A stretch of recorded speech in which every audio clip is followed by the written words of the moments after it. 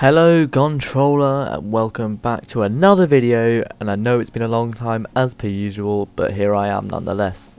This time I'm going to talk to you about a new event which is coming up soon on the 2nd of November which is in just under, well just over a week when I make this video.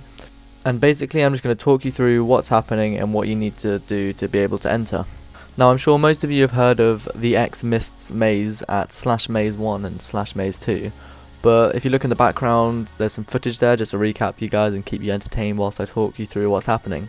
The reason why those are relevant is because for this maze, it's the last man standing Dungeon Labyrinth Edition. Dun dun dun! I know, I know, calm down guys, keep the hype on a low down level. I do not want a riot on my hands. So if you guys were around for the previous Last Man Standing event, you'll know what's happening. Basically, we chuck you all in an arena and you will fight it out for, I don't know, however long it takes you to kill each other and be one man standing and who will be the winner.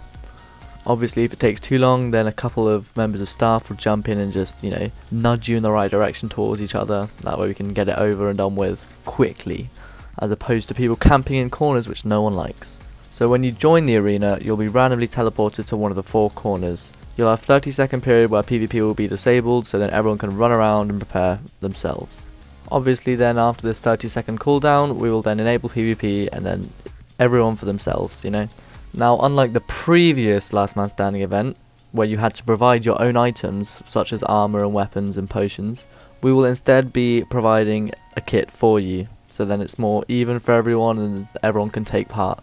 This kit will contain one set of diamond armor which has protection 4 and breaking 3 on it, one sharpness 5 diamond sword, two strength 2 potions, two speed 2 potions, one regen that lasts for 2 minutes, 32 cooked steak, one super golden apple, and a number of splash health potions.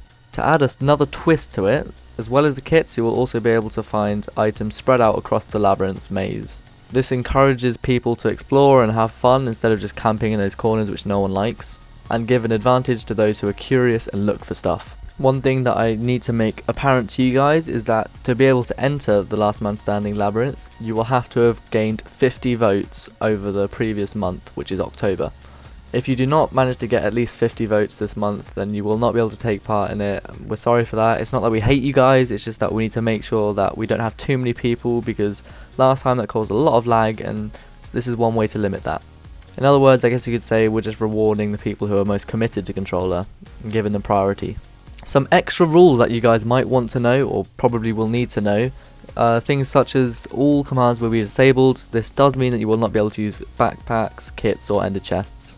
Basically anything with a slash in front of it, don't even try using it.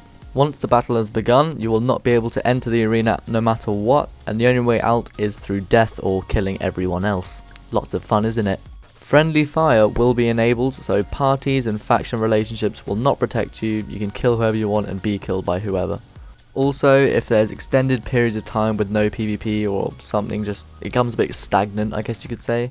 Some pretty angry skeletons or some admins might join the arena just to speed things up a little bit, if you know what I'm saying. A little love tap here and a love tap there. I think you know what I mean. Lastly, when players die, their items will be dropped on death, which will be protected by a 10 second timer. The items I mean, not their dead body last thing that I almost completely forgot to mention is that because of the insane amount of people we've had taking part before, we're going to be running this event in rounds, so then everyone has a chance to take part, but it'll be in slightly smaller groups of people. Only 50 players will be able to join each round at a time, and we'll be running multiple rounds throughout the day and evening, so then everyone has a fair chance to take part and play. And now for the most important part, what do you win if you win the round?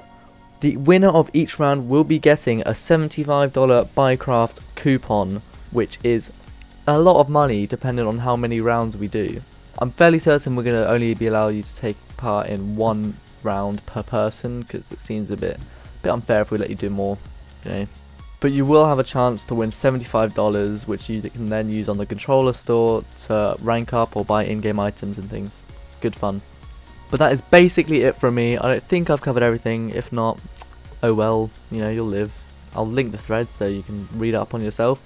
But I think that's it from me. Like I said, um, if you have any feedback or questions, leave it in the comment section below or get in contact with me through the forums. Twitter now, because we do have Twitter. Get us, we're modern, I know, love it. Um, but like I said, leave anything you want in the feedback in the comments, um, and I guess I'll see you next time.